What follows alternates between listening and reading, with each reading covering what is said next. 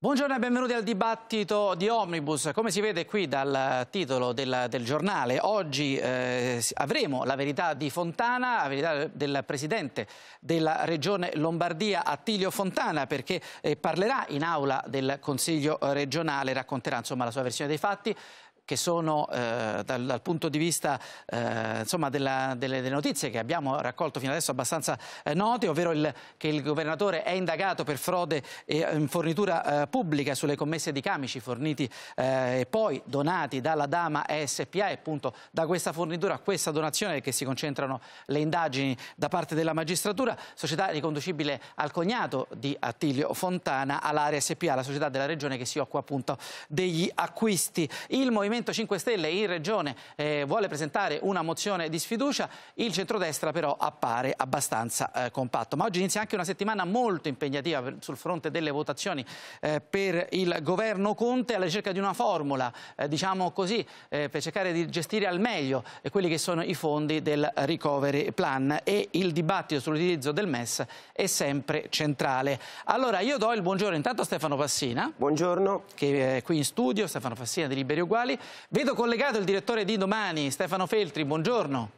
Buongiorno, buongiorno, a tutti. E tra poco ci collegheremo anche con Pietro Senaldi, direttore di Libero, e Guido Crosetto, ehm, che tra poco insomma, lo vedo in collegamento, ma ancora non è buono l'audio. Allora, intanto chiedo a Stefano Fassina che idea si è fatta su tutta quanta questa vicenda, che era un po' nell'aria, diciamo così. C'è stata un'inchiesta da parte di, di Report eh, del, nel maggio eh, che ha fatto luce su questa, su questa vicenda. Eh, per quanto riguarda il governatore Fontana e anche l'avvocato, eh, oggi c'è una lunga intervista sul, sul giornale eh, che difende ovviamente il suo assistito dicendo che è tutto quanto lecito. Eh, si parla di questi fondi, di questo trust delle Bahamas, di questo conto svizzero, di questi soldi praticamente che poi una forma di rimborso spese che è stata data eh, nei confronti di Andrea Dini che è il cognato di Fontana. Qual è la sua... Che idea si è fatta intanto? Ma innanzitutto ritengo che dobbiamo evitare il rischio di strumentalizzare una vicenda che ha a che fare con decine di migliaia di morti, quindi la strumentalizzazione è sempre sbagliata, in questo caso sarebbe davvero immorale. Dopodiché ritengo che mh, da quanto emerge dai giornali eh, viene fuori un quadro piuttosto preoccupante. Allora, eh, l'avviso di garanzia, come è noto, non è una sentenza di condanna e, e quindi dobbiamo lasciare alla magistratura eh, il tempo per eh, arrivare a, con a, conclusioni che poi eh, conosceremo. Dopodiché mh, può darsi abbia ragione l'avvocato del Presidente Fontana che sia tutto legittimo, eh, non tutto quello che è formalmente legittimo è anche politicamente opportuno. Eh, su questo credo che vada fatta una riflessione perché quando ti trovi a gestire delle procedure in deroga e scegli le, eh, in modo discrezionale, quindi senza gara, tra le aziende fornitrici, eh, una nella quale sei implicato direttamente con i tuoi familiari, moglie e cognato, parti con, una, eh, con, un contratto di fornitura e poi quando viene fuori eh, la storia cambi in corso d'opera e, e, trasformi quella fornitura in una donazione. Tra l'altro Fassina eh, cioè, emerge un altro eh, particolare di questa inchiesta e lo pubblica oggi il Corriere della Sera che eh, sarebbe ancora in vigore la vendita, cioè la vendita del 16 gennaio dal punto di vista formale sarebbe ancora in atto, non c'è stata ancora diciamo, una carta che eh, giustifica la, la, la donazione e questo fa sì che eh, insomma, qualche altro elemento di questa vicenda sicuramente curiosa nella sua determinazione, eh, però la, la, eh, fa, fa, sì che sì, nel dibattito il dibattito sì. pubblico sia abbastanza Dopodiché chiaro. Io ho trovato anche abbastanza diciamo, preoccupante la disinvoltura con la quale Fontana eh, riferisce a proposito del suo conto in Svizzera di aver scudato 5 1,3 milioni di euro come se fosse diciamo, naturale per chi ha una funzione istituzionale così importante scudare una somma così rilevante. Ma infine il punto politico che mi preme sottolineare è che tutta questa vicenda riguardo le dimissioni richieste per il Presidente Fontana andrebbe ricondotta eh, sul terreno eh, politico della gestione dell'emergenza sanitaria in Lombardia da parte sua, da parte dell'assessore Gallera. Credo che su quello il Consiglio regionale dovrebbe discutere senza cercare facilità espiatori ma mettendo in evidenza delle responsabilità e, e su questo esprimersi. Allora, do il buongiorno a Pietro Senaldi che vedo collegato, al direttore di Libero, non so se mi sente Senaldi. Buongiorno. Buongiorno direttore. Allora, sì, intanto, sì. intanto, piccola parentesi, oggi apri con una lunga, bella intervista al eh, presidente dell'IRBM di Pomezia, che è la società che si sta eh, occupando eh, con la multinazionale eh, inglese AstraZeneca e eh, l'Università di Oxford sul vaccino e dai anche una buona notizia, insomma, che il vaccino dovrebbe essere eh, disponibile già da gennaio. Sì, questo mi ha detto lui addirittura la sua è una valutazione prudenziale, perché ecco, io ci tengo a dire questo. Noi non abbiamo forzato assolutamente nulla e non è un titolo sensazionalistico. Anzi, la mia intervista è qualche centimetro indietro rispetto a quello che mi ha detto eh, giustamente il presidente dell'IRBM proprio per... Eh, per non fare del sensazionalismo. È un po' quello cioè, che ci auguriamo quello che tutti mi ha detto, quanti. Eh, è convinto Esatto, esatto. Ti volevo chiedere, ti volevo chiedere, e niente, tu, d'altronde lui mi vista, spiega che...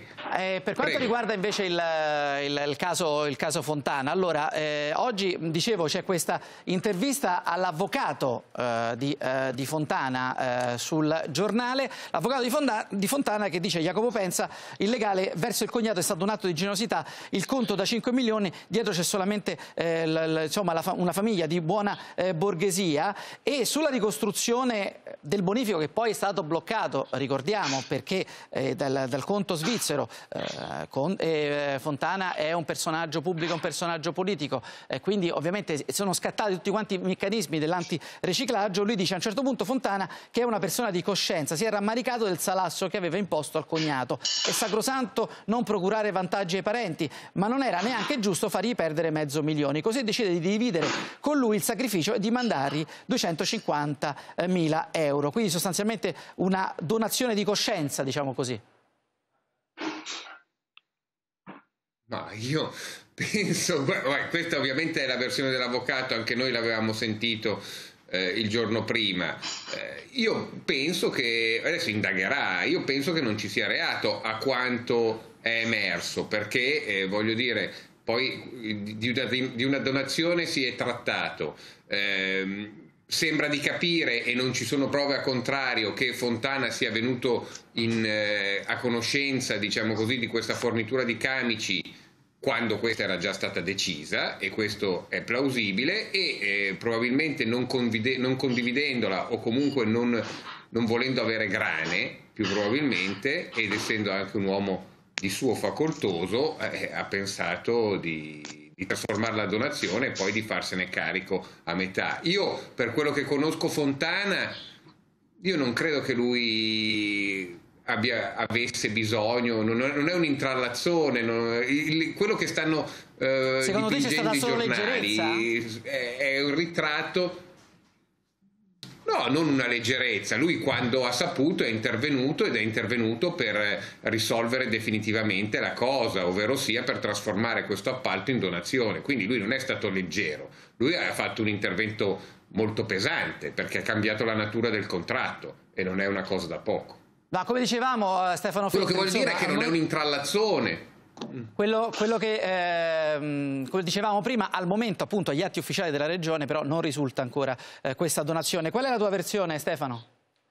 Ma io non ho una versione, io ho più domande che risposte. Io credo che Fontana però dovrebbe dimettersi perché ha mentito già due volte sul, su quello che ha fatto. Ha sì, mentito... perché ricordiamo la tempistica Stefano, perché poi eh, lui ha dato una versione dei fatti a Report che poi si è vista insomma con, eh, con il passare del tempo non era esattamente quella più precisa. Sì, lui ha mentito dicendo che non si era mai occupato della vicenda dei camici, mentre sappiamo che se ne è occupato chiedendo di trasformare il contratto in donazione ha mentito perché il contratto non è stato trasformato in donazione, come apprendiamo oggi dal Corriere della Sera, ma resta in vigore, e ha mentito perché non ha mai accennato al fatto che lui nel, nelle, comunque, nel, nelle fasi dell'emergenza Covid, non più quelle più drammatiche, ma insomma in una fase comunque delicata, trovava il tempo per andare in banca a fare operazioni eh, su un conto svizzero che è stato poi l'operazione è stata poi bloccata per sospetti di antiriciclaggio perché lui cercava di far avere questi soldi al cognato da un conto svizzero legato a un trust alle Bahamas tutte cose che se questa operazione fosse stata trasparente eh, avrebbe spiegato al giornalista di Report quando è stato contattato, cioè a maggio, e non le avremmo scoperte a fine luglio. Ma questo per me è tutto, diciamo, secondario, questa è la parte che valuteranno i magistrati se il contratto è lecito o no, se è stato qualche abuso. Io vorrei che il governatore della Lombardia ci spiegasse da dove arrivano i 5,3 milioni di euro che stanno sul trust alle Bahamas, perché i trust alle Bahamas si fanno o per due ragioni, o perché una persona ha un'impresa alle Bahamas e ha un'impresa domiciliata in un paradiso fiscale e quindi accumula lì delle risorse personali, o si fanno per nascondere i soldi al fisco italiano. Ora, i genitori di Fontana da quello che mi risulta, quello che ho letto, erano un medico di famiglia di Varese e una dentista. dentista. Come si faccia una dentista ad accumulare 5,3 milioni di euro in conti alle Bahamas e soprattutto perché questo trust venga aperto dalla signora a 82 anni e non diciamo in un'altra fase della vita, a 82 anni eh, apre un trust alle Bahamas che ha come unico beneficiario il, il il figlio Attilio Fontana che in quella fase era presidente del Consiglio regionale della Lombardia, quindi non, erano, non potevano neanche essere i soldi suoi che aveva accumulato come avvocato.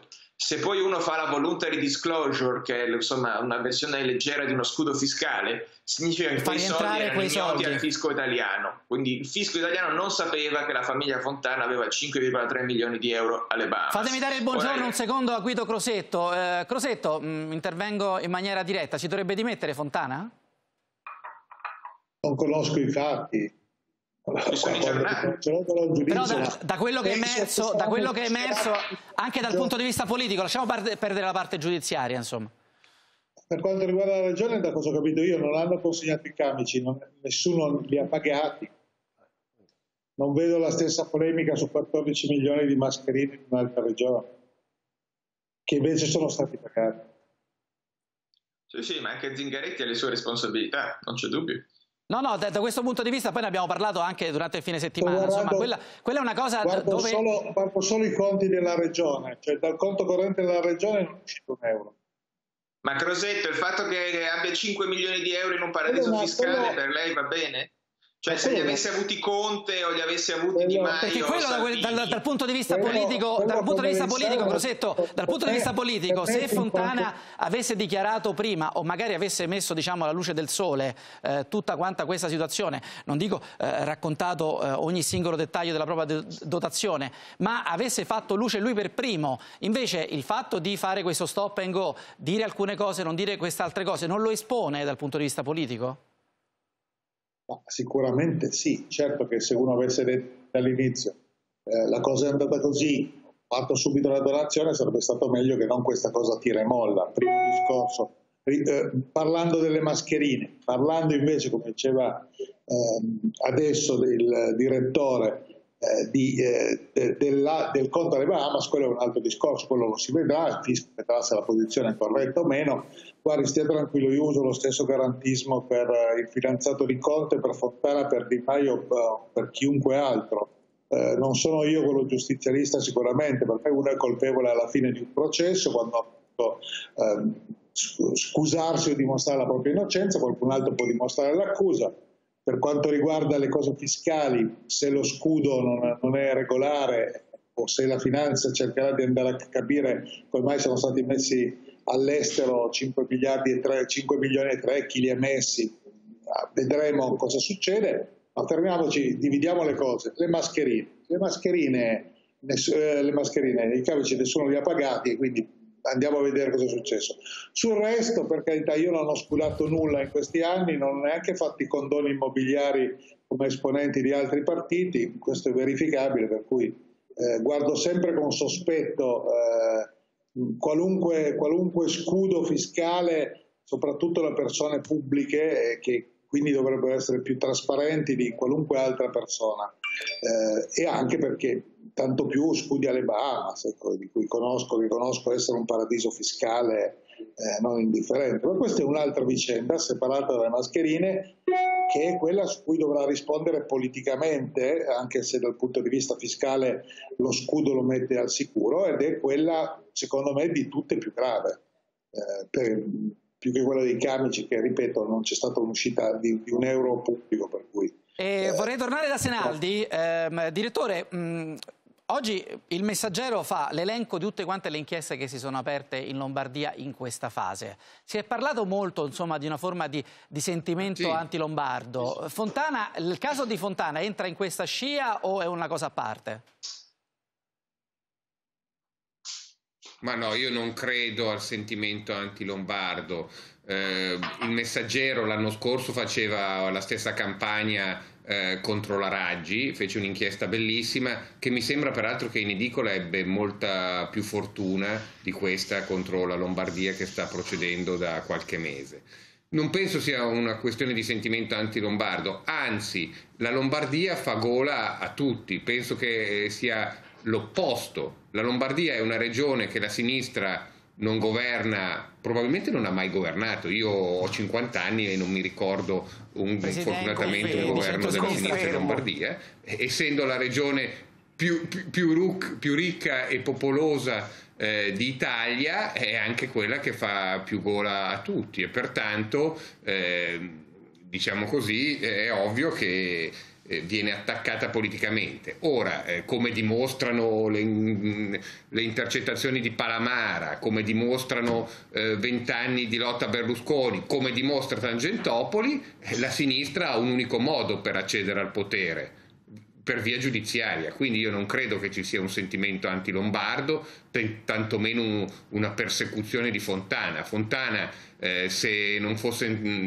non dico rientrato in politica, ma praticamente è una rentrée quella di Fontana, perché lui si avviava, diciamo così, a una pensione eh, politica, poi la rinuncia di Maroni il giorno prima delle elezioni rimise in gioco Fontana. Se non fosse accaduto tutto questo, eh, Fontana poteva scudare i soldi della sua famiglia, il padre non era un medico, mi risulta che fosse uno degli avvocati più facoltosi della provincia di Varese e, e, questo quindi, quindi io non credo un sentimento anti-lombardo, anzi Lombard- la Lombardia è invidiata e concupita. Ma ehm, tra l'altro eh, insomma anche la figura di Attilio Fontana ha un po' ricompattato anche la Lega, nel senso che non è eh, Fontana esattamente un'espressione eh, salviniana, è un politico diciamo eh, di lungo corso che, eh, dal, che, che, da, che, da, sempre dentro la Lega e eh, tra l'altro molto molto stimato anche da Silvio Berlusconi che oggi interviene in maniera decisa anche nella vicenda e difendendo l'operato di, di, Fontana. Non so se voleva aggiungere qualcosa Fassina sulla vicenda. No, volevo ricordare che mh, Fontana come Presidente della Regione Lombardia dovrebbe essere valutato sul terreno politico eh, rispetto a quella che è stata la gestione del Covid, di, di cui questa parte ovviamente è una parte importante, ma è eh, una parte. Quindi ritengo che oltre a vicende che... Mh, Tutto il centro-sinistra dal Partito Democratico, Leo, mozione, Movimento 5 Stelle dovrebbe presentare insieme una mozione di sfiducia nei confronti di, di Fontana? Ma credo che sia legittimo. Perché stiamo leggendo di tentennamenti da parte del Partito Democratico, credo della Viva. sia legittimo che ci sia questa iniziativa, quantomeno serve a fare chiarimento, anche perché i punti interrogativi, come veniva ricordato, sono tanti, perché la donazione è arrivata eh, in corso d'opera dopo che eh, vi è stato da parte eh, di Report ehm, diciamo una una notizia rispetto a quello che avveniva, quindi starei attento a ritenere tutto così banale. E rimane questo grande punto interrogativo che ehm, ricordavo all'inizio dei 5,3 eh, milioni di euro scudati. E, quindi da questo punto di vista gli elementi per cercare chiarimenti in Consiglio regionale sono tanti, non c'è nessuna persecuzione eh, lombarda, ci mancherebbe altro, credo che lo stesso comportamento eh, si avrebbe avuto in qualunque altra regione d'Italia. Mi colpisce anche qua eh, l'ipergarantismo ehm, di Salvini quando si tratta dei suoi e una grande disinvoltura invece quando si tratta dei suoi avversari politici, ma ripeto, per quanto mi riguarda nessuna strumentalizzazione, a me interessa che la Lombardia abbia un eh, Presidente, una Giunta all'altezza dei problemi che ha di fronte e che sono ancora tanti purtroppo. Eh, Crosetto fa bene eh, Salvini a eh, parlare, insomma, lo sta facendo durante i comizi della campagna elettorale, insomma, di, eh, che ci sia bisogno in Italia di una riforma della giustizia è anche abbastanza banale, no? di questa giustizia alla Palamara, cioè Palamara adesso è diventato praticamente l'emblema di que tutto quello che è mala giustizia. Io penso che è meglio parlare di problemi di giustizia quando la giustizia eh, quella da spettacolo colpisce gli avversari, non quando colpisce i tuoi. Cioè. Bisogna parlarne tutti i giorni, non soltanto quando viene toccato nel vivo. Io sono convinto che esista un problema della giustizia, dell'uso politico della giustizia, ma che riguarda tutti i partiti italiani che riguarda un contrappeso che non esiste dal 94 tra due poteri, quello giudiziario e quello legislativo esecutivo dall'altra parte questo lo penso da sempre, così come penso che non dovrebbero essere pubblicate sui giornali almeno il 90% delle notizie che sono pubblicate che rientrano nella sfera privata, ma ormai questo riguarda tutti i giornali, a seconda del, del politico, un giorno quelli di sinistra, un giorno quelli di destra, tutti i giorni il fatto quotidiano. Per cui eh, al, di, al, di, là di questo c'è un problema. Eh, se le opposizioni invece in Lombardia chiederanno conto a Fontana della gestione del, eh, del coronavirus, dei problemi che ci sono stati in Lombardia accentuati rispetto ad altre regioni, lo ritengo un atto legittimo politicamente, così come in Lazio, in Piemonte, in Sicilia o in Campania, eh, perché comunque eh, chi rappresenta i cittadini e le istituzioni deve chiedere a chi governa conto di come ha governato e perché sono stati fatti errori, senza polemica, ma proprio per cercare di evitarli nel futuro. Per cui, ripeto, eh, le vicende gravi, semmai di tutto questo, la vicenda per me più, più curiosa, diciamo, per non usare un, un aggettivo diverso, è quella del trust eh, sentivo però da Senaldi eh, parlare della famiglia, può darsi benissimo che stiamo parlando di, di un trust eh, che poi, sistemato fiscalmente che magari non riguarda il Presidente ma riguarda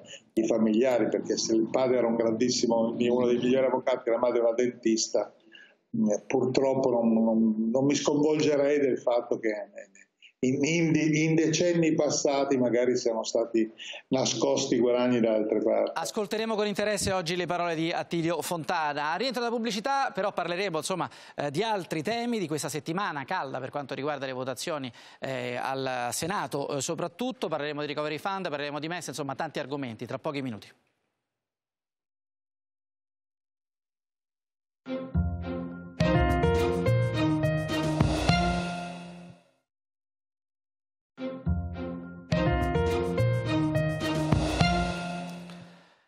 Allora, rieccoci in onda, eh, dicevamo insomma, dedichiamo questa parte a eh, Giuseppe Conte, al governo e soprattutto alla situazione riguardo la, riguardo la gestione dei soldi del recovery plan. E una settimana che si annuncia sicuramente estremamente interessante da questo punto di vista perché allora eh, si deve votare lo scostamento di bilancio, anzi come sta inquadrando la regia eh, giustamente eh, ce la fa vedere qui dal Corriere eh, della Sera, domani pomeriggio Conte riferisce al Senato sulle iniziative per il Covid. A Palazzo Mandama e a Montecitorio mercoledì si votano risoluzioni sulla data in cui finirà lo stato di emergenza, perché questo è l'altro eh, tema estremamente interessante eh, con il centrodestra che è compatto contro eh, il, il, prolungamento dello stato di emergenza, stato di emergenza che dovrebbe essere fino al 31 ottobre che scade il 31 di luglio. Camera e Senato, scostamento di bilancio, dicevamo, eh, per 25 eh, miliardi, l'esito è incerto al Senato, c'è il no di Lega e di Fratelli d'Italia, sì, condizionato da parte di Fratelli d'Italia che chiede detassazione e la bicamerale sui fondi, eh, tra l'altro proposta appunto eh, del, ehm, di, di, Forza Italia. E poi c'è il 28 luglio la riunione dei capigruppo della Camera dove eh, si dovrà decidere sulla legge elettorale che sembra cosa eh, diciamo a margine però è centrale in questo momento visto che ci sarà anche la votazione sul referendum. Ne parleremo poi in maniera diffusa più tardi quando ci raggiungerà in studio Maria Elena Boschi. Allora, eh, partiamo da Stefano Feltri. Oggi i giornali, devo dire che hanno tutte aperture diverse su come gestire questi soldi, eh, tutte aperture diverse su come anche a livello parlamentare dovranno essere gestiti questi soldi. Allora, da una parte c'è la bicamerale, la proposta è di, di, Forza, di Forza, Italia, depositata, eh, c'è una convergenza abbastanza ampia eh, in Parlamento, c'è il no da parte di Italia Viva, eh, però oggi eh, Repubblica lancia quest'altra proposta di due commissioni monocamerali e addirittura con la presidenza Brunetta. Eh, che idea ti sei fatto e quale potrebbe essere il percorso eh, più diciamo, eh, pratico, più praticabile? Ricordando che domani c'è la prima riunione, così abbiamo fatto il calendario della settimana, del CIAE, dovremmo anche cominciare ad abituarci insomma, con quest'altra sigla che è il comitato interministeriale eh, che dovrebbe gestire diciamo, in nuce, dovrebbe essere una sorta di task force all'interno del governo stesso. Ma intanto siamo ancora al, diciamo, al minuto zero di questo tema. Sono 3-4 mesi, almeno da aprile, che sappiamo che si sta discutendo di, di, un pacchetto di aiuti da decine di miliardi europeo. Siamo arrivati a fine luglio e non abbiamo un solo piano, un solo progetto su come spenderli. Abbiamo fatto la task force di Colau, di Vittorio Colau, che ha consegnato ormai più di un mese fa il suo rapporto e adesso che i soldi diciamo più o meno ci sono non sappiamo come usarli, questo è il primo punto. Il secondo è che Giuseppe Conte per ragioni da un certo punto di vista comprensibili di dare un, una visione unitaria, dall'altro politiche di suo obiettivo di rafforzare il proprio controllo sul governo, vuole gestire la regia di questo piano da Palazzo Chigi, che però ricordiamolo è la struttura meno adeguata perché non ha le competenze, non ha lo staff, non ha la struttura mentre il Ministero del Tesoro, per esempio, ce l'ha. Quindi, Quindi la bicamerale? No, la bicamerale, allora il Parlamento può servire una funzione di controllo, ma non può servire una funzione di indirizzo, cioè il governo serve apposta per eh, elaborare delle linee eh, di intervento, serve una linea politica, poi il Parlamento può monitorare, controllare, discutere, verificare rispetto a tutte le esigenze, ma non può essere il Parlamento a proporre, specie in una bicamerale, specie diciamo con le, le opposizioni, a dover elaborare una linea politica, anche perché, diciamo, per semplificare un po' ma non troppo, prima o poi si andrà a votare e la coalizione di governo sarà valutata soprattutto su come avrà gestito questa situazione. Quindi hanno la responsabilità di scegliere dove mettere questi soldi. Abbiamo sentito finora le cose più strane, a un certo punto si parlava di nuovo addirittura del ponte sullo stretto di Messina. Ecco, io vorrei che il governo arrivasse a dare un indirizzo politico a questa situazione che è, è la sfida di politica economica più importante del, dal dopoguerra e siamo a zero. La Banca d'Italia non è stata coinvolta, il Ministero del Tesoro non è stato coinvolto, nessuna delle istituzioni che hanno le competenze per valutare dove questi soldi possono produrre il miglior impatto finora non ha, non ha, prodotto nulla, non è stata coinvolta perché la politica ha prevalso. Allora fatemi dare Però intanto il buongiorno, scusami Stefano, do il buongiorno a Carlotta De Franceschi, economista, presidente dell'Action Institute che ci ha, che ci ha raggiunto. Mentre parlavi, eh, Stefano, buongiorno De Franceschi. Buongiorno. Allora, mentre parlavi Stefano Feltri, eh, vedevo una, uno scosso Guido Crosetto che non faceva altro che fare di no con la testa eh, sulle, sulle tue parole. Perché non è d'accordo? No, io sono d'accordo su tutto il ragionamento che ha fatto Stefano Feltri prima, tranne sulla parte finale. È il, è il Parlamento che dà l'indirizzo politico. Eh, certo. La finanziaria l'approva il Parlamento è il Parlamento che decide il Parlamento dopo che il governo ha presentato un poi lo fa, poi, no, no, poi il Parlamento lo fa, eh, lo fa normalmente a maggioranza per cui uno può discutere o meno se serve una bicamerale, ma è il Parlamento quello che dà l'indirizzo, fa l'indirizzo e il controllo. Poi il governo, sulla base dell'indirizzo del Parlamento, sviluppa la politica di governo. Questo è per richiamare compiti di tutti all'interno della Costituzione, per cui un dibattito parlamentare sull'utilizzo dei fondi fatto con gli strumenti che riterranno migliori, quindi può essere fatto con, la, con, o senza commissione bicamerale, con o senza il coinvolgimento dell'opposizione, a maggioranza o a, a, colpi di maggioranza o meno, ma un dibattito parlamentare che indichi la via su cui il governo poi decide e tutti i giorni governa, andrebbe fatta rispettando la Costituzione. Dovrebbe essere un passaggio fondamentale perché il problema principale del Recovery Fund sarà quello di individuare come spendere queste risorse che arriveranno il prossimo anno, per cui stiamo di tempo ce n'è ancora e su cui l'Europa, da cosa si legge e si scopre ogni giorno, sarà probabilmente eh, andrà a vedere anche le virgole, su questo potremmo discutere tutta la vita. Allora, credo che sia d'accordo anche Stefano Fassina con questa idea sul, sul fatto che il, che il, Parlamento deve essere centrale. Il Parlamento fase. deve essere centrale. Ma, Ma con quale strumento? Ecco, appunto, non vuol dire eh, che c'è bisogno di una bicamerale o di una monocamerale speciale. Il Parlamento valuta ogni anno il documento di programmazione economica e finanziaria, il, il Parlamento valuta ogni anno il piano nazionale di riforme, cominceremo oggi pomeriggio in commissione bilancio, quindi francamente non vedo il senso di una commissione ad hoc. Ci sono le commissioni di merito per cui i singoli progetti che siano sulla politica industriale, sugli investimenti, eh, sull'ambiente, su qualunque aspetto hanno una commissione di merito che può valutarli, quindi mh, non vedo il senso di fare una commissione ad hoc. Altro è il discorso politico. Se attraverso la commissione ad hoc, magari presieduta da un esponente di Forza Italia, eh, si, voglia, eh, diciamo, associare, si voglia associare alla maggioranza una parte dell'opposizione. No, guardi, mm. io ritengo che l'opposizione vada coinvolta, ma nelle modalità previste eh, istituzionalmente, per cui ritengo che il Presidente del Consiglio prima di votare lo scostamento dovrebbe incontrare i leader di Forza Italia, di Fratelli d'Italia, della Lega e eh, diciamo, condividere le linee di fondo di quell'intervento, perché appunto è importante che lo scostamento, come è avvenuto nei due scostamenti precedenti, eh, anche per questi 25 miliardi ci sia una convergenza il più ampia possibile.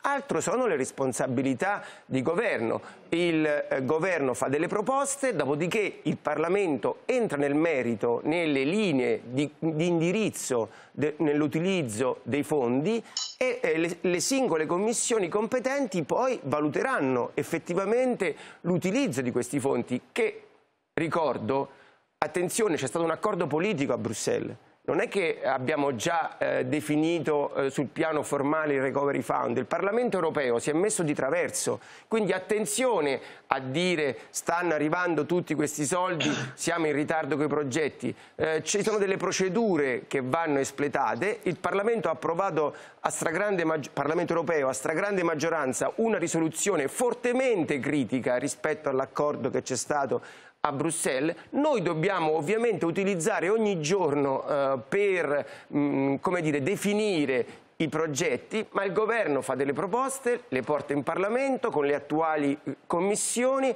eh, perché abbiamo tutti gli strumenti per poter operare senza un'altra commissione che, ripeto, se ha una funzione politica allora si espliciti l'esigenza politica rispetto alla quale non sarei d'accordo ma è legittimo che si faccia la discussione. Non facciamo passare questa esigenza politica attraverso l'istituzione di una commissione di cui non, si, non, ne sentiamo davvero il bisogno. Allora De Franceschi, può eh, sembrare una discussione di Lana Caprina, di noi addetti ai lavori, insomma, che si occupano malati di politica, però eh, sostanzialmente bisogna presentare dei progetti all'Europa il tempo passa, dovrebbe essere presentato tutto quanto entro la, la fine di settembre.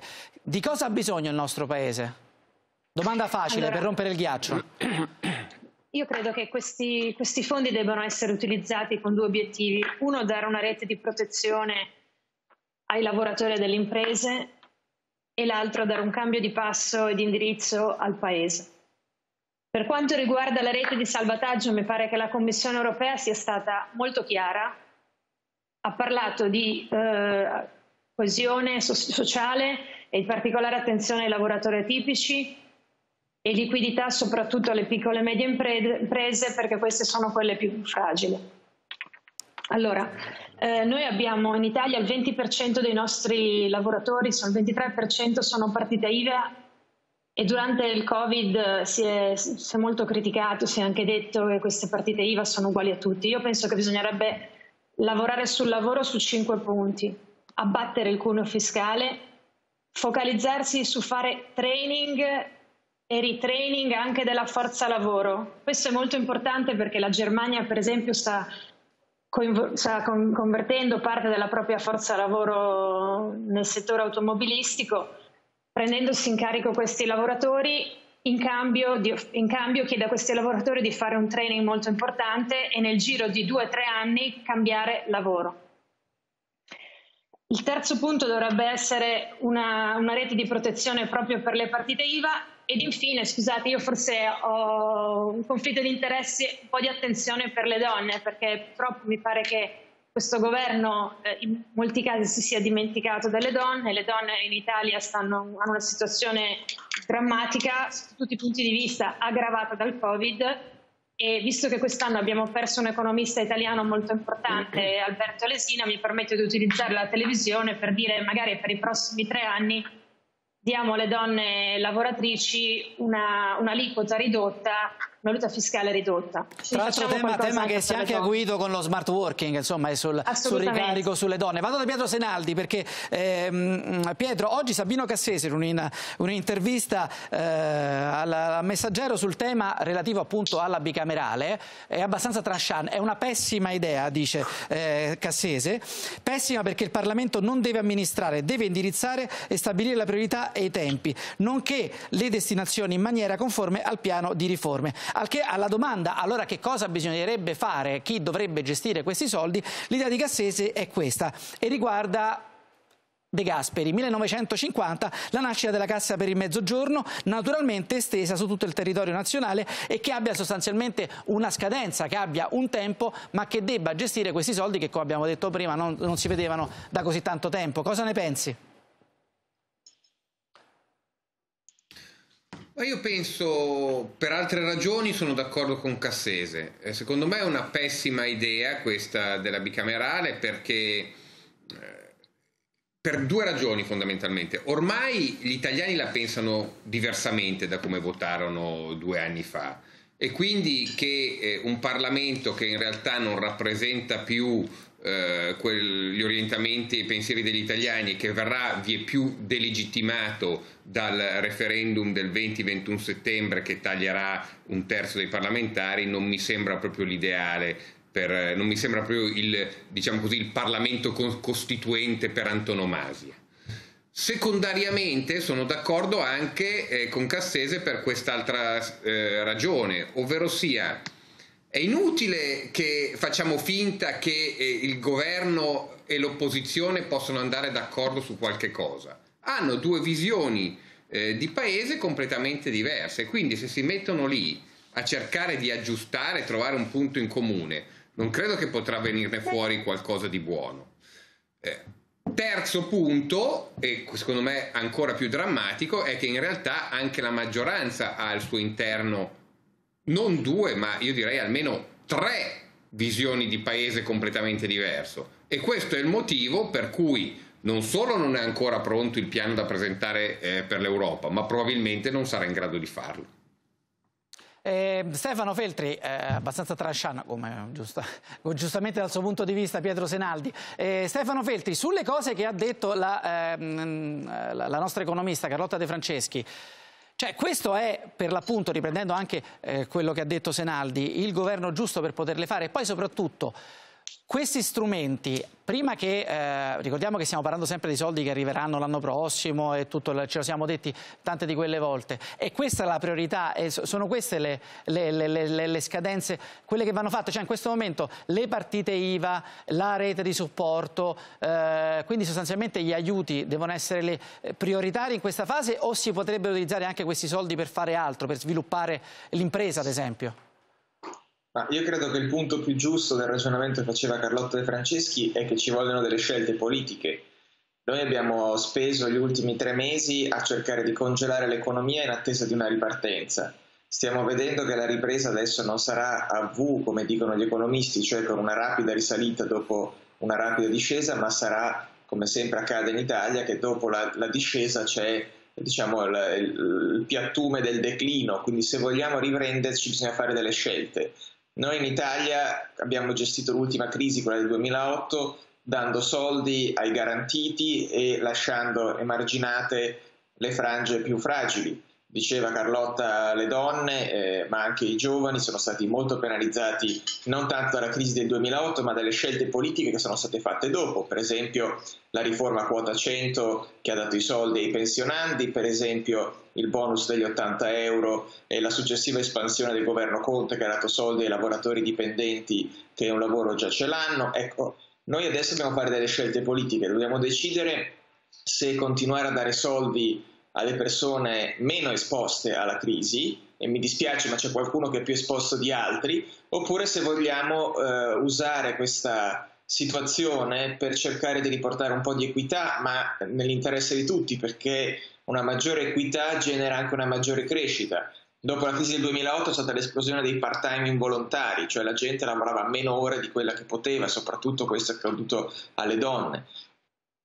Eh, in questa crisi noi non possiamo permetterci di continuare a buttare soldi come ha fatto per esempio il governo Conte ancora a luglio, quindi adesso, quando è entrata in vigore l'estensione del bonus degli 80 euro che il Movimento 5 Stelle, così come la Lega, avevano promesso di abolire. Quindi noi nel pieno della pandemia abbiamo buttato e butteremo in maniera strutturale, mi pare intorno ai 5 miliardi di euro per dare soldi ai lavoratori dipendenti che hanno ancora un posto e uno stipendio. Ecco, Stefano, se continuiamo così... Stefano, confermare quota 100 sarebbe buttare soldi a questo punto? Assolutamente, quota 100 è un, è un disastro dal punto di vista dell'equità intergenerazionale, cioè del rapporto tra giovani e vecchi, ma è un disastro anche per i conti pubblici. Le eh, promesse, le giustificazioni che erano state date, cioè mandiamo in pensione i lavoratori a fine carriera per fare entrare i giovani, si sono rivelate quelle che tutti sapevano essere, cioè delle balle raccontate agli elettori per giustificare un provvedimento clientelare, nel senso che si volevano i voti dei baby boomer vicini alla pensione e non si è badato a spese per comprarseli, mentre Vorrei sentire l'opinione di Crosetto e Fassina su questo. rilanciare il paese. Crosetto. Su, su quota 100? Su quota 100 e poi sulla gestione del recovery fund. Guarda, condivido quasi tutte le riflessioni che ha fatto, che ha fatto Feltri e che quello prima del professore Francesco. Cioè, eh, è il momento di scegliere le scelte politiche nel conto non di un momento Crosetto, siccome c'è un problema di audio, adesso cerchiamo di migliorarlo, poi le do la parola, vado da, da Fassina e proviamo a migliorare l'audio. No, mi colpisce diciamo, che mm, si continuino a utilizzare nell'analisi le categorie degli anni 90, garantiti, lavoratore dipendente garantito, lavoratore indipendente non garantito. C'è stato un massacro in questi anni nel mondo del lavoro dipendente. Inviterei a guardare le condizioni di quei lavoratori dipendenti, ad esempio nel settore dei servizi esternalizzati nella pubblica amministrazione eh, dopodiché è evidente che ehm, c'è bisogno di interventi specifici sulle partite IVA. Sottolineo che eh, dal decreto Cura Italia ehm, sono stati sostenuti. Ma il problema con... delle finte partite IVA non era stato risolto? Ma guardi, eh, questi problemi si risolvono... Quelle sono modificate poi nel tempo? Ci sono, state, ci sono stati degli interventi importanti, eh, dopodiché diciamo, questi problemi si risolvono attraverso la crescita, attraverso un sistema che ha bisogno eh, meno di spremere il lavoro eh, per competere ed è chiaro che le false partite IVA sono un modo per spremere eh, e sfruttare il lavoro, abbassare i costi di produzione e eh, diciamo, sostenere quella competizione di costo che non riesci a, um, a invece a, ad avere attraverso l'innovazione, attraverso gli investimenti, ma eh, sottolineo appunto che ci sono stati mh, mm, mm, diversi miliardi di euro utilizzati per le partite IVA, eh, appunto da Curidagli in poi, ritengo che sia stato eh, sbagliato e settimana scorsa quando abbiamo fatto l'incontro con l'associazione dei commercialisti ho anche chiesto scusa a nome del governo per quanto riguarda la, le, proroghe, le, scadenze fiscali. delle proroghe fiscali, perché ritengo che in questa fase sia invece necessario eh, prorogare le scadenze fiscali, almeno per quella parte di partite IVA, di microimprese ehm, che sono in settori a enorme mh, sofferenza. Il governo ha, ha, promesso che nel DL agosto si metterà le mani insomma, sulle cartelle esattoriali e sulle sospensioni. Sì, ehm, vedremo appunto, a mio avviso è necessario, eh, sarebbe stato utile eh, a ridosso della scadenza del 20 luglio dare un messaggio, eh, come dire, di eh, prospettiva eh, e di, dire, di, di, di, riduzione di questa eh, angoscia che vive un pezzo largo di, mondo del lavoro, appunto delle partite IVA, allora si sarebbe dovuto eh, indicare la possibilità della proroga. Abbiamo approvato alla Camera un ordine del giorno presentato dal collega Gusmaroli nel quale eh, si propone di eliminare le sanzioni per chi eh, fa i versamenti in ritardo. Ecco, mm -hmm. credo che questo vada fatto perché abbiamo bisogno appunto di riconoscere la sofferenza che investe eh, larga parte eh, di quel mondo e ehm, dobbiamo farlo rapidamente, quindi spero che il 29 votiamo lo scostamento, che non ti aspetti metà agosto ma che il decreto arrivi a più presto perché c'è un paese che ha bisogno di, di di ehm, un sostegno, di vedere allentata eh, questa angoscia per il futuro. Noi sono settimane, mesi che parliamo di recovery fund che come lei sì. ricordava arriverà nel migliore dei casi a fine 2021, ma noi abbiamo bisogno di rispondere domani, abbiamo bisogno di interventi domani mattina per fare in modo che eh, ci siano meno macerie sociali, che ci possa essere eh, l'avvio di una ripresa immediatamente, che la Banca Centrale eh, intervenga come stanno facendo le, le, altre banche centrali del mondo, lasciando stare tutti i discorsi assurdi sul eh, MES e quant'altro, e ci concentriamo invece su quello che torniamo, serve per, per un'emergenza. Eh, Crosetto, credo che adesso sia migliorato l'audio, prego. Sì, guardi, eh, parto dall'ultimo discorso di Stefano Fassina. Eh, Lasciamo un attimo da parte, se vogliamo, l'utilizzo di, di, fondi che arriveranno a fine 2021 negli anni successivi. C'è un problema drammatico di quello, che, di quello che è successo negli ultimi mesi e che secondo me darà i suoi effetti da settembre in poi, perché centinaia di migliaia di aziende e quindi tutti i loro dipendenti, perché quando parlo di aziende non parlo solo del, della partita IVA che magari ne è proprietario, ma di tutti quelli che lavorano in quelle aziende, perché anche nelle micro aziende lavorano una, due, tre, quattro, cinque, quindici, venti persone. Noi abbiamo decine di migliaia di queste aziende che sono sull'orlo della decisione, apro o non apro, vado avanti, non vado avanti, riesco a sopravvivere o non sopravvivere. E di fronte al lavoro quotidiano, con tutte le difficoltà che, c'è stata con la riapertura, il governo ha pensato bene di proseguire eh, tutte le scadenze burocratiche, non solo fiscali, e fiscali comunque, come se quasi nulla fosse successo. E l'esempio che citava prima Stefano Fassina dei, dei commercialisti e dello spostamento, del non spostamento del 20 di luglio delle scadenze fiscali ne è un esempio.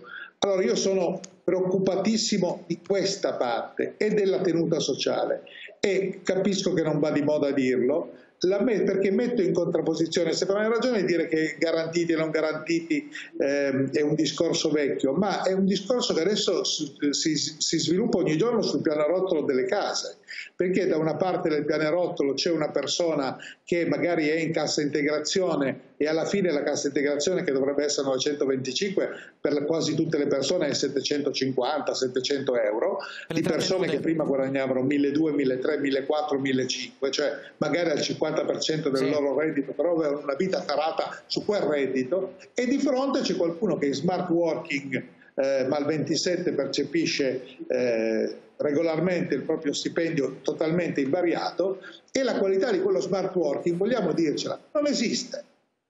Perché noi parliamo di smart working come se avessimo costruito prima del coronavirus gli strumenti perché lo Stato e le amministrazioni pubbliche si muovessero con lo smart working. Mentre invece con lo smart working quasi nessuno è pronto a muoversi. Io cito sempre un esempio, la persona a casa come fa a consultare l'archivio? Perché noi se avessimo tutti gli archivi informatizzati potremmo farlo da casa, ma non li abbiamo. Cosa succede quando uno al Ministero va a prendersi il foglio? Come fa a contattare un'altra amministrazione se non abbiamo gli archivi informatizzati che si parlano? Chiamava il, collega che faceva la stessa cosa e gli inviava il foglio via mail o via fax. Adesso il collega non risponde perché nell'ufficio non c'è nessuno, per cui a fianco di un paese già in difficoltà abbiamo formalmente costruito uno smart working che però al di là della buona volontà che può esserci da parte dei dipendenti non ha un output, cioè è mancata, manca la produzione e non vanno avanti cose. Aggiungo a questo Crosetto che ho letto l'altro giorno un dato, un dato, che secondo me è, mh, mm, eh, sono saltato dalla sedia praticamente quando, quando l'ho letto e poi andiamo in pubblicità, che il 30% dei computer dati in donazione alla pubblica amministrazione non sono neanche stati accesi e questa cosa insomma mi ha lasciato abbastanza perplesso e questo è sicuramente un tema quello dello, dello smart working e delle infrastrutture insomma, digitali del nostro paese. Eh, pochi minuti di pubblicità e poi parliamo di MES.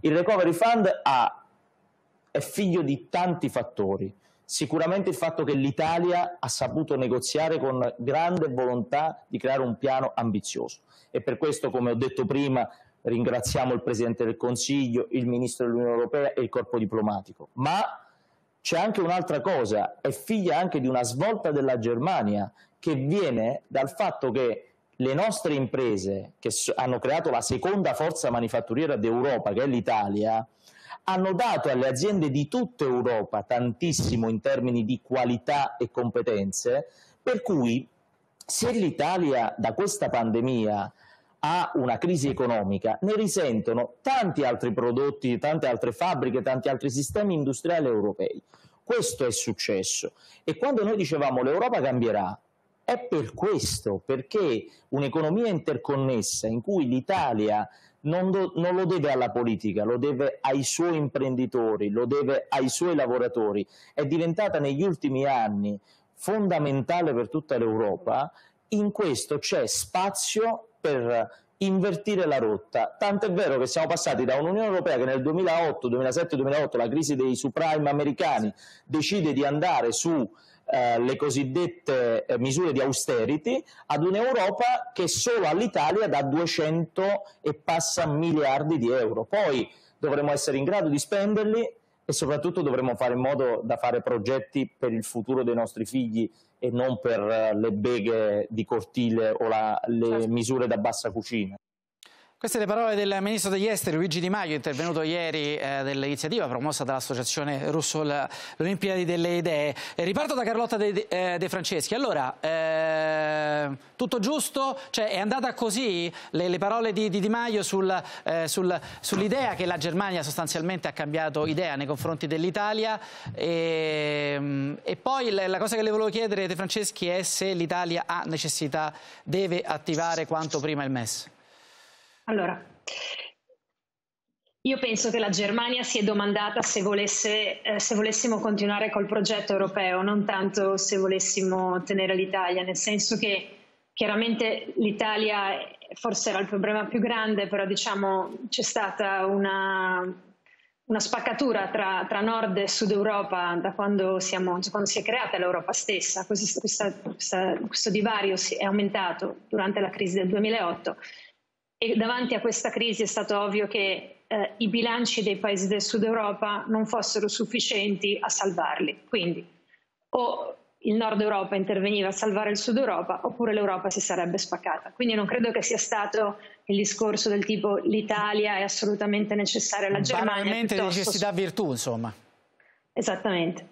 Eh, per quanto riguarda il MES, allora io, io, sono di quelli che lo prenderebbe sicuramente, credo che in Italia siano stati fatti grandi tagli alla sanità, anche grandi tagli al capitale umano, al personale sanitario, quindi un limite che abbiamo avuto, un grave problema che abbiamo avuto durante questa crisi è stata la carenza di medici, la carenza di infermieri, la carenza di, di certi determinati medici che sono in particolare i rianimatori e gli anestesisti che hanno un'unica carriera che è quella pubblica, perché chiaramente l'animatore non può andare a fare rianimatore, non può andare a fare rianimatore nella clinica privata.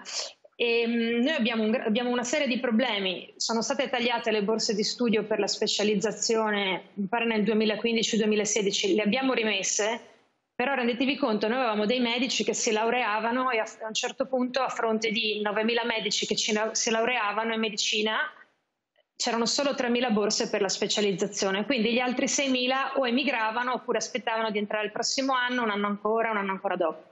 Chiaramente già medicina è una carriera che dura 10 anni e a questo punto il medico si faceva i suoi conti in tasca. Secondo, abbiamo delle carriere molto incerte perché appunto anche adesso con la crisi sono stati presi i medici con contratti ad un anno e terzo e non ultimo sono pagati veramente troppo poco. Medici, infermieri in Italia sono, sono, pagati troppo poco. Almeno Quindi nel, soldi nel, che potrebbero servire anche agli stipendi di medici e perso personale. Eh, un secondo perché c'era Stefano Fassina che non era esattamente d'accordo, poi vado da Stefano Feltri. No, sui problemi che la professoressa evidenziava sono d'accordo. Ricordo che le risorse per il MES sono per spese di investimento, per spese esatto, una tantum, esatto. quindi diciamo per quanto riguarda le assunzioni che ritengo non per spese assolutamente, da questo... sì, scusi, assolutamente scusi, necessarie. Scusi, Prego. Scusi, il, il capitale fungibile se lei prende 30, per fare 30 miliardi per fare investimenti, poi dal budget della sanità corrente può pagare i medici. Sì, peccato che cioè, quei, 30 miliardi, quei, 30 miliardi, come sa, sono una tantum. Una esatto. volta che lei assume 100.000 medici in più, che,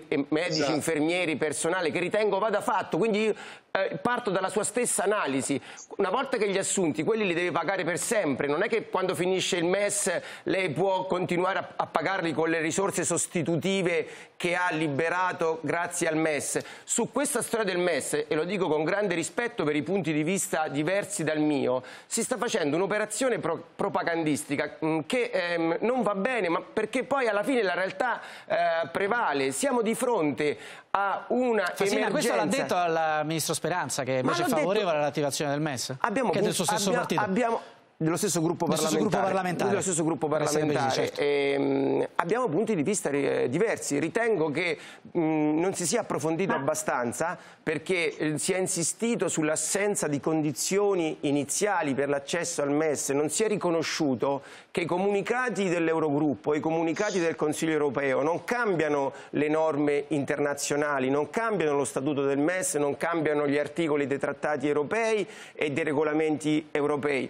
Una volta volta che tu sei dentro, il MES è una banca, come tutte le banche, valuta la solvibilità del debitore. Noi una volta che siamo dentro, con un debito sopra il 170% del PIL, perché ahimè questo è quello che raggiungeremo a fine anno, saremo un debitore a rischio e quella banca che ti ha prestato i soldi per statuto, non perché sono cattivi, ma per statuto, valuta la solvibilità del debitore, riconoscerà che tu sei un debitore a rischio, perché se hai il 170% del PIL di debito sei un debitore a rischio, e ti chiederà un programma di aggiustamento macroeconomico e strutturale, ma ripeto, non perché sono cattivi, perché i comunicati stampa degli eh, organismi europei non cambiano le norme. Stefano Feltri, abbiamo... visto così, è un cavallo di Troia sostanzialmente no, finisco, del MES finisco subito. Noi abbiamo bisogno subito che la Banca Centrale Europea, che sta intervenendo ma con una portata che è un decimo di quella della Federal Reserve, della Bank of England, della Bank of Japan, intervenga maggiormente. In, maggiormente perché siamo di fronte a una caduta del PIL straordinaria e non si può affrontare con strumenti ordinari. Feltri.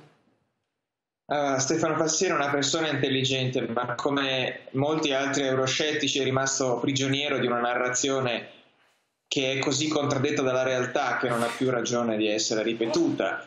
Cioè il timore di Fassina, eh, di Bagnai e di tanti altri è sì ci danno la carota del MES ma la carota nasconde il bastone perché prima ti danno i soldi e poi ti costringono, non si sa bene per quali ragioni, a perché ristrutturare sono, il debito che vuol dire la bancarotta, alle misure di austerità eccetera. Allora se questi timori comunque diciamo completamente infondati potevano essere legittimi fino a qualche mese fa perché chissà cosa succede nel nuovo scenario, sono completamente assurdi nel momento in cui in parallelo l'Unione Europea ci dà il Recovery Fund. Il Recovery Fund avrà tempi di erogazione, di gestazione più lunghi di quelli del MES, il che significa che con una mano l'Unione Europea ci dà i soldi per la ripresa, ci finanzia gli investimenti e facendo questo rende il nostro debito più sostenibile perché il fatto che arrivino investimenti che anche spendendoli male, anche facendo le buche per poi riempirle, comunque rendono il nostro PIL eh, potenzialmente più alto e quindi il debito più sostenibile. La stessa Unione Europea che con una mano ci dà quei soldi,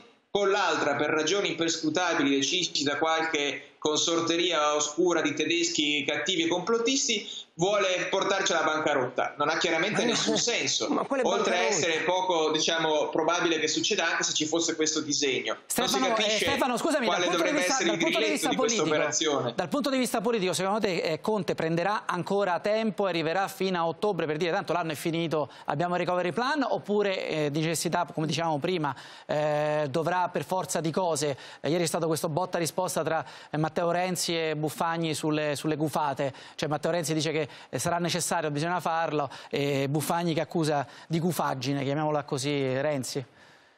Io penso che Conte stia aspettando che un altro paese, probabilmente la Spagna, faccia richiesta del MES per non avere diciamo, il marchio del, del, primo paese, del, primo paese, che lo chiede, perché come diceva Carlotta De Franceschi, i soldi sono uguali, sia che li dia, hanno lo stesso valore, sia che li dia il MES, sia che li dia eh, il mercato che piace Fassina con il debito sostenuto dalla BCE. È vero che non si può usare il MES per dare gli aumenti di stipendio ai medici o fare assunzioni, ma se si tolgono 30 miliardi dagli investimenti programmati sulla sanità e quei 30 miliardi si mettono sugli stipendi e le assunzioni, Vabbè, poi gli investimenti sulla sanità si fanno con i soldi del MES, quindi la fiscalità generale sostiene le spese strutturali come gli stipendi e il MES sostiene gli investimenti. Crosetto. Quindi cioè, i soldi da parte, passano da una mano all'altra, si può fare quasi tutto in questo momento. Crosetto.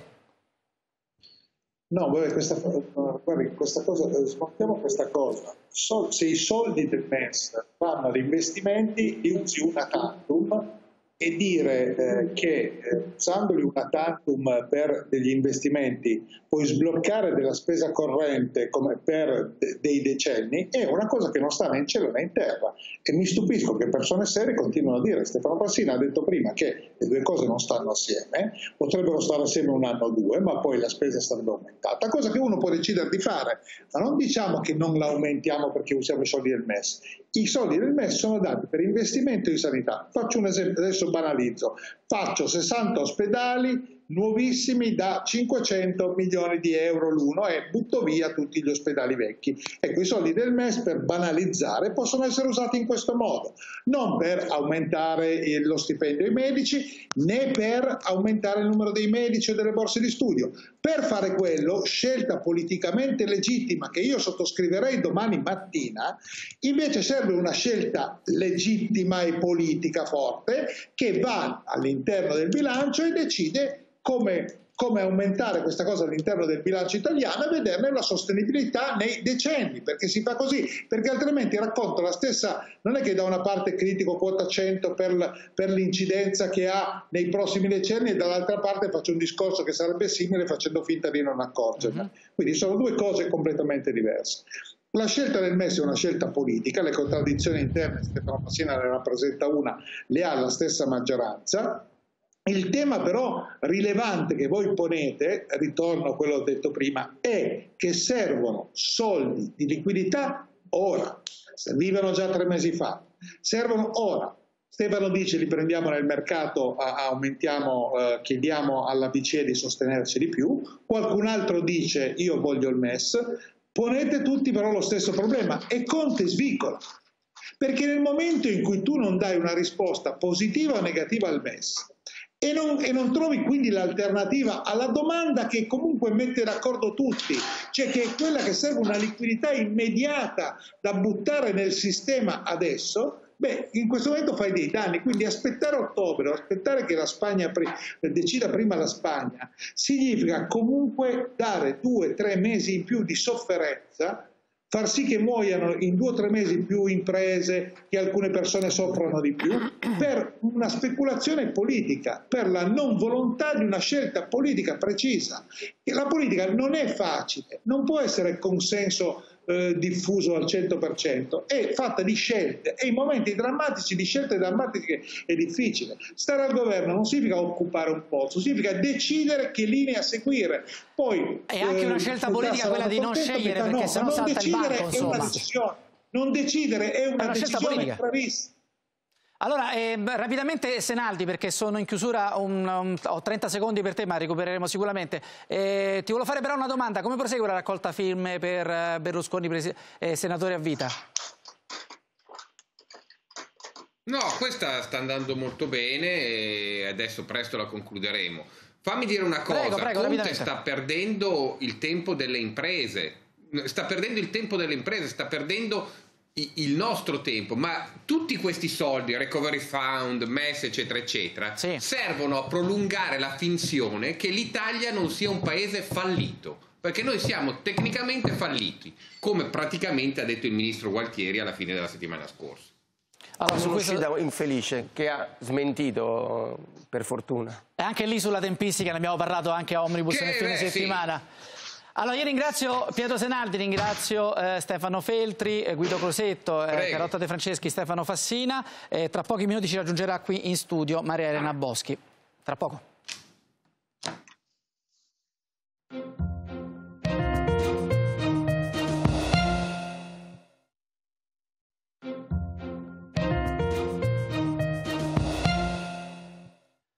Siamo rientrati in diretta, ci ha raggiunto il capogruppo, il presidente del gruppo di Italia Viva alla Camera, Mariana Boschi. Buongiorno. Buongiorno. Allora, eh, partiamo da dove siamo, abbiamo finito il nostro dibattito, ovvero dalla situazione economica che eh, ovviamente nella sua urgenza necessita di, di risposte.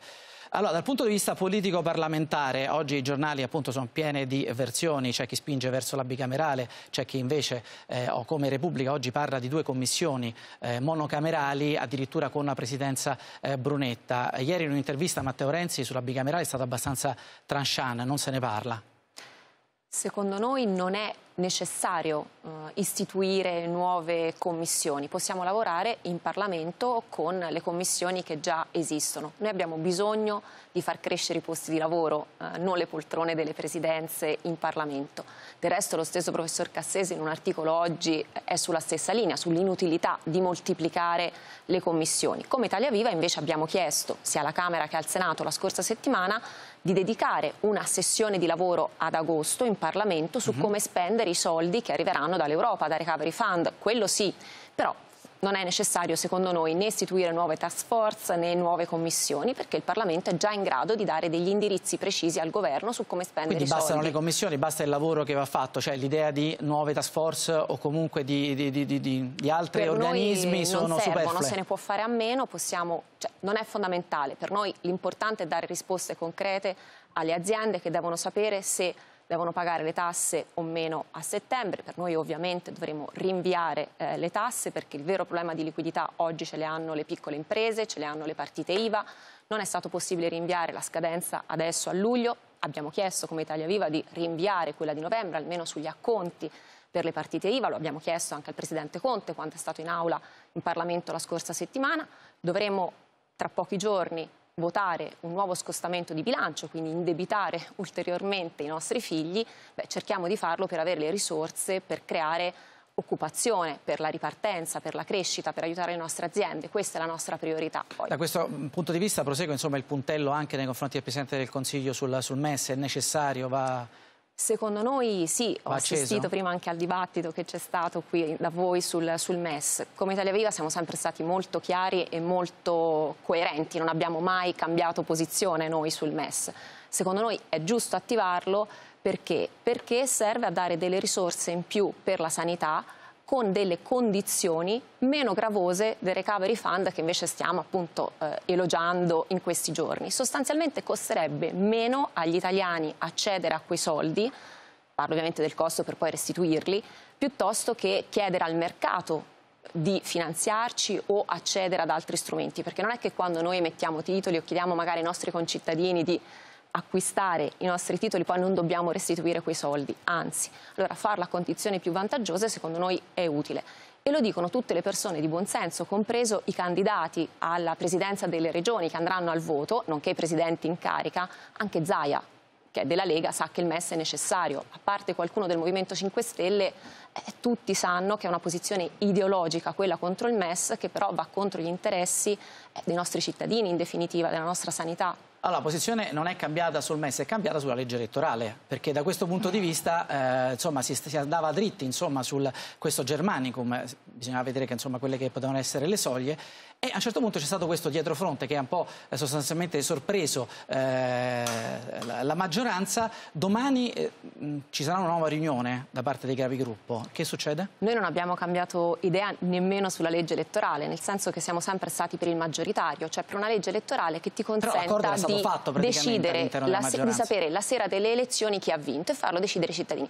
Si ricorderà bene che su questo abbiamo giocato anche una partita politica importante. Il Presidente Renzi si è dimesso dopo il referendum costituzionale. Noi avevamo creduto e crediamo ancora che serva dare maggiore stabilità ai nostri governi e serve una legge maggioritaria per questo.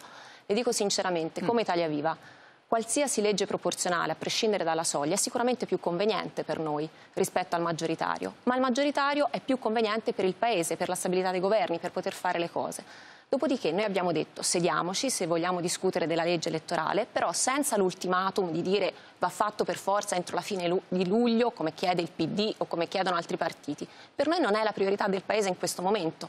Possiamo discutere la legge elettorale volentieri, ma prima di parlare dei seggi in Parlamento parliamo dei posti di lavoro. Per noi la priorità è cosa succede alle aziende, aiutare le aziende in crisi, aiutare le partite IVA e aiutare tante persone allunga che oggi si laureano e chiedono che lavoro avranno allunga anche la vita della legislatura il fatto di non avere una legge elettorale. Ma noi una legge elettorale ce l'abbiamo, una legge elettorale c'è, che è il Rosatellum. Bisogna metterci le mani inevitabilmente. Sicuramente ci saranno dei correttivi dopo il referendum che taglia il numero dei parlamentari, però è vero che a differenza per esempio dell'altra legislatura in cui noi ci siamo trovati per ben due volte sostanzialmente quasi senza legge elettorale perché la Corte Costituzionale è intervenuta contro Porcellum cosiddetto, mm -hmm. poi dopo contro l'Italicum, dopo il risultato del referendum costituzionale, oggi non siamo in quella situazione, andremo a votare nel 2023, quindi il Parlamento ha davanti a sé tre anni per rimettere mano alla legge elettorale, lo faremo, siamo disponibili purché non ci siano ultimatum, ricatti e purché secondo noi si dia una giusta scala di priorità a quelle che sono le emergenze oggi nel Paese. Io credo che sia più giusto preoccuparsi, ripeto, delle aziende che chiudono, di Ilva, di che cosa succede alle acciaierie di Piombino o alle acciaierie a Terni, della strategia per Alitalia, perché abbiamo messo 3 miliardi di soldi dei cittadini italiani su Alitalia e vogliamo capire come verranno spesi. Pensiamo che per noi sia fondamentale capire qual è la strategia per riaprire le scuole. Noi lo diciamo da tempi non sospetti, da quando ci prendevano per pazzi. Come Italia Viva abbiamo sempre detto che dobbiamo riaprire le scuole perché il Paese muore se non riapri le scuole. E non è un problema solo di garantire alle famiglie la possibilità di andare al lavoro sapendo che i figli sono eh, a scuola seguiti. No, è un problema proprio per i ragazzi e le ragazze di avere la possibilità di imparare, di avere una formazione che fatta da casa a distanza non è la stessa cosa che farla in classe con gli insegnanti, con i compagni di scuola.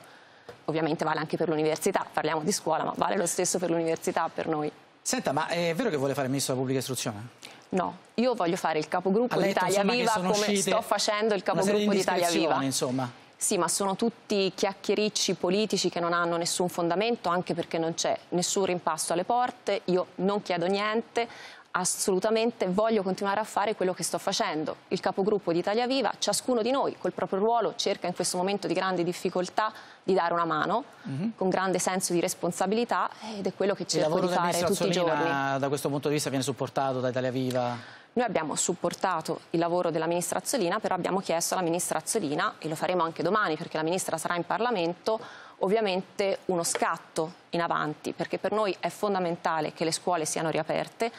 Con la Ministra Azzolina, peraltro, eh, noi abbiamo avuto diciamo, qualche elemento di, di divergenza sulle risorse per la scuola pubblica, sia quella statale che quella privata. Siamo contenti che adesso il Governo abbia annunciato un ulteriore intervento mm -hmm eh, per la scuola pubblica da un miliardo e mezzo, quindi nuove risorse per la scuola. È fondamentale che ci siano gli insegnanti il primo giorno di scuola, sia quelli di sostegno, sia diciamo, per la docenza in classe, perché non si può assistere dopo tutti i mesi in cui le scuole sono state chiuse ad un caos a inizio anno, è fondamentale garantire i trasporti per poter andare a scuola e soprattutto avere delle scuole in grado di essere adeguate alle nuove norme. Noi avevamo detto approfittiamo della chiusura delle scuole per il Covid per fare interventi di edilizia Mettere scolastica, mettiamo sì, esatto, soldi, grazie a un nostro emendamento di Italia Viva, una nostra proposta si sono sbloccate le risorse per l'edilizia scolastica, noi avremmo preferito che venisse restituita, restituita l'unità di missione come c'è stata col governo Renzi, creata allora, perché ha portato a spendere molto più velocemente i soldi e a mettere in sicurezza le scuole. Cerchiamo di farlo adesso, in questo periodo che abbiamo davanti a noi, prima che riaprono. Su questo ci deve essere eh, la vera sfida per la scuola e per l'istruzione. È fondamentale per il futuro del nostro Paese. Su questo chiediamo uno scatto in avanti all'amministrazione. Senta, ieri lei è intervenuta nel dibattito che riguarda, diciamo così, eh, per semplificazione giornalistica, il caso eh, Casalino, eh, ovvero il, il compagno eh, del portavoce del Presidente eh, del Consiglio che ha utilizzato una carta di credito ricaricabile per fare del trading, del trading online. L'accusa da parte del giornale La Verità è che venendo a conoscenza di una serie di informazioni diciamo, sensibili da questo punto di vista avrebbe sostanzialmente aiutato a fare questo tipo di operazioni. Poi c'è stata praticamente la, la, la rivelazione eh, del, de, dei problemi che riguardano appunto il, il compagno di Rocco Casalino, eh, si è parlato sostanzialmente di, eh, di, essere vittima insomma, di queste associazioni di, di eh, trading. Ehm, leggo la sua dichiarazione per intero, per anni 5 Stelle ci hanno attaccato per ciò che hanno fatto o non hanno fatto, i nostri affetti più cari. Oggi che Rocco Casalino è nella stessa situazione per i suoi affetti noi siamo diversi, molto diversi da loro, noi siamo garantisti, noi siamo seri, noi siamo Italia Viva. Allora al di là dello slogan diciamo, da, da partito finale. E, eh, questa è un, una netta diciamo, mh, distinzione che c'è tra tra voi e il Movimento 5 Stelle, esatto. nel quale insomma, siete nello stesso governo insieme, avete due idee di giustizia molto diverse. Infatti non è uno slogan con l'Italia Viva, ma è proprio una, è il DNA, è mm -hmm. il modo in cui siamo, siamo garantisti e lo siamo sempre, eh, a differenza del Movimento 5 Stelle che è garantista quando riguarda qualcuno del Movimento 5 Stelle o qualche affetto del Movimento 5 Stelle, mentre è giustizialista quando le vicende giudiziarie toccano altre forze politiche. Del resto Rocco Casalino negli anni scorsi ha guidato la comunicazione per il Movimento 5 Stelle e dietro tante campagne mediatiche sui social molto aggressive verbalmente del Movimento 5 Stelle nei confronti di tanti esponenti me compresa, eh, de, insomma, del Partito Democratico, di altri e le famiglie, sicuramente c'è una regia, una strategia che è stata fatta anche da Rocco Casalino negli anni scorsi. Noi oggi potremmo ripagarlo con la stessa moneta, visto che riguarda il suo compagno una vicenda eh, diciamo poco chiara, che poi non sta a me giudicare ovviamente. Ah, e, e noi non lo facciamo non perché noi siamo anche... garantisti anche nei loro confronti e rispettiamo anche la privacy di Rocco Casalino e del suo compagno. In questo abbiamo marcato una netta differenza, lo possiamo dire rispetto al Movimento 5 Stelle, lo possiamo dire anche rispetto alla Lega, alle vicende che stanno riguardando la Lega in Lombardia in questi giorni perché che in Lombardia non tutto abbia funzionato mi pare sia evidente, no? lo dicono i dati oggettivi. Se sia responsabilità di Fontana o meno lo diranno i magistrati, gli avvocati che seguiranno le vicende giudiziarie, non io. Lei non è Regione Lombardia, di sicuro ma Italia non, non, non abbiamo una mozione di sfiducia nei confronti di Fontana?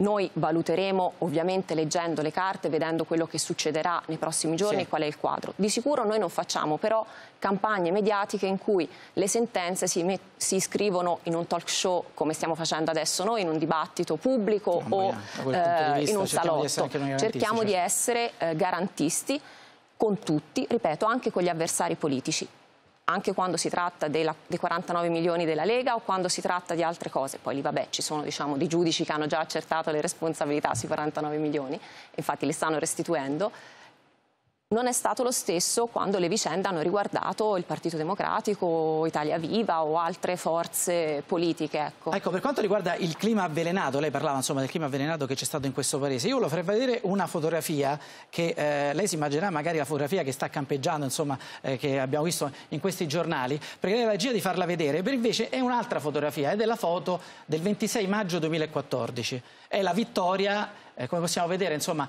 eh, tutto quel Partito Democratico lì è la vittoria alle europee, il 40,8%, insomma, eh, all'epoca c'era Presidente del Consiglio eh, Matteo Renzi, ma come vediamo dalla foto, allora lei è tra Guerini e Speranza, due esponenti dell'attuale governo eh, che fanno parte di due partiti diversi, eh, poi si vede anche un Gualtieri insomma, eh, in piedi, in alto, insomma tanti esponenti di quella famiglia del Partito Democratico.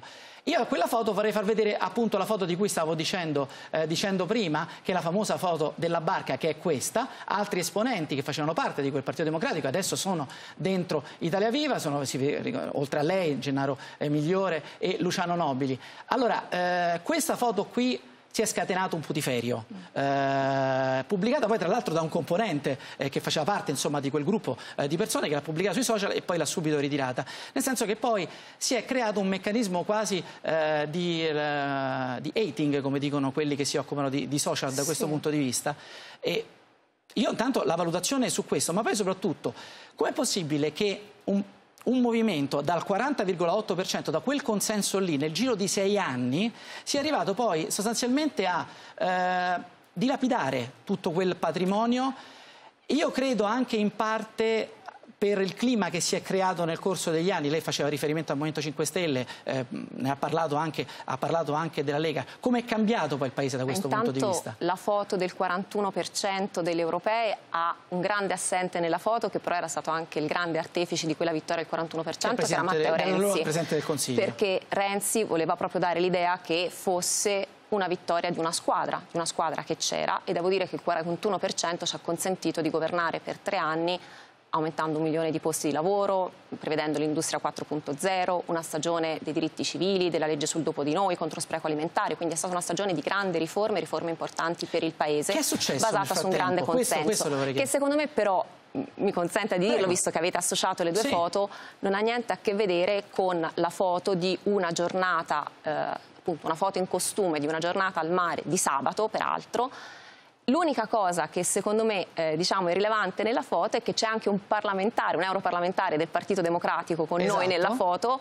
al mare perché? Perché si possono dividere i destini politici, ma le amicizie poi restano anche diciamo, tra eh, persone di partiti politici diversi con i quali abbiamo condiviso no, un percorso. Prima, Quindi voglio dire, rimane tutto il paese, la, diciamo, la non dico tutto il paese, ma non c'è, però non, non, vedo diciamo, la, la, connessione rispetto alla possibilità che una persona no, ma domanda, vada cioè, che cosa un giorno al mare, non so se ci vuole un'autorizzazione no, no, parlamentare. No, poi nelle no, no, ma penso che insomma, uno possa eh, ci mancherebbe altro, ma ha stupito anche a me questa andare su un'isola ci vuole una barca. Ha stupito anche a me questa reazione. Poi questo, sinistra barca fa parte non, della storia d'Italia. Ma non, io credo che ci sia però anche un po' un clima quello, quello che si è arrivare. generato e che forse alcuni hanno anche fomentato in questi anni, incentivato, eh, per cui sostanzialmente si guarda non alla sostanza. Mm. Cioè, io vorrei parlare delle nostre proposte sul decreto legge semplificazioni, sulle proposte che abbiamo fatto e che sono state approvate nel decreto legge rilancio, a quello che immaginiamo per i prossimi vent'anni del Paese, quello che dico in Parlamento quando intervengo, al pari di tanti altri colleghi, in aula su tanti temi e sinceramente di che cosa possa fare in una giornata del mio tempo libero al pari di chiunque altro non dovrebbe essere un argomento diciamo, che ha una valutazione certo, ma questo politica clima no? da un certo punto che viene un po' incentivato ma questo clima, questo clima, clima d'odio in, in, parte, l'ho detto anche lei prima è stato in qualche modo alimentato anche dal partito in, con, cui, che, con, cui, siete al governo voi in questo momento ma io questo, le dico volevo... che nonostante tutto nonostante anche le difficoltà eh, personali sì. perché per noi soprattutto un anno fa è stato molto difficile per tanti di noi votare la fiducia a quel governo come Movimento 5 Stelle dopo appunto gli attacchi ingiusti, le falsità che abbiamo subito negli anni precedenti. Eppure oggi le dico, dopo aver visto i recovery fund, che ci sono 200 miliardi di buone ragioni per aver fatto quel governo, perché se arriveranno risorse in più per i cittadini italiani con il lavoro che abbiamo fatto in Europa, questo ci ripaga anche delle difficoltà che ci possono essere state in questi mesi. E io credo che oggi anche chi ha attaccato la scelta nostra di Renzi un anno fa di far nascere questo governo capisce la grande operazione che c'è stata dietro, perché abbiamo riportato credibilità all'Italia, l'Italia al centro dell'Europa. Se fossimo andati al voto un anno fa e avessero vinto i sovranisti, avesse vinto Salvini, come era molto probabile un anno fa, oggi ci sarebbe un'Europa diversa, oggi l'Italia non avrebbe le risorse che potrà spendere per i recovery fund. Per tutto questo credo che anche avere un qualche elemento di sacrificio personale, diciamo così, nel lavorare con persone che torneranno, dopo l'esperienza di questo governo, ad essere avversari politici alle prossime elezioni, beh, ne vale la pena nell'interesse del Paese. E non è un caso se noi come Italia Viva, per esempio alle regionali, non sosterremo in Liguria il candidato del Movimento 5 Stelle. Se il PD vuole assecondare un po' il populismo del Movimento 5 Stelle scegliendo un giornalista del Fatto Quotidiano come candidato alla presenza della Regione Liguria, noi siamo altrove, non rinunciamo alle nostre idee. In una battuta eh, bisogna ricostruire diciamo, una formazione politica in questo momento con altri movimenti diciamo, più vicini alla vostra area, penso a Calenda, penso a Più Europa. Le dico, ma con la più grande serenità e sincerità che per noi in questo momento la cosa fondamentale è ricostruire la fiducia degli italiani nel nostro Paese, perché soltanto portando di nuovo gli italiani ad avere fiducia dopo l'esperienza drammatica che tutti noi abbiamo condiviso del Covid, potremo tornare a crescere. Noi non vogliamo vivere di assistenzialismo, di misure diciamo, eh, appunto di, di sussidio, ma vogliamo creare posti di lavoro, vogliamo dare la possibilità ai ristoranti di ripartire, al turismo di non essere in ginocchio, questa è la nostra priorità. Il resto fa parte diciamo, dei retroscena politici ma che non ci impegnano nelle nostre giornate. Noi siamo al lavoro per gli italiani. Ringrazio Mariana Boschi. Allora, e con eh, Mariana Boschi finisce questo dibattito, la, la, puntata di Omnibus di oggi. l'appuntamento è a domani, ah, vi ricordo sempre alle 8. Adesso la linea va a Andrea Pancani e a Coffee Break. Buona giornata a tutti.